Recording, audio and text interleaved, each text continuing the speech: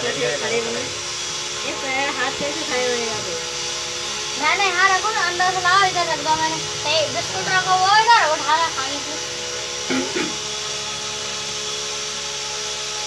उतर तो दिख रहा है, और इधर हाँ मेरी नन्हे गिर गई।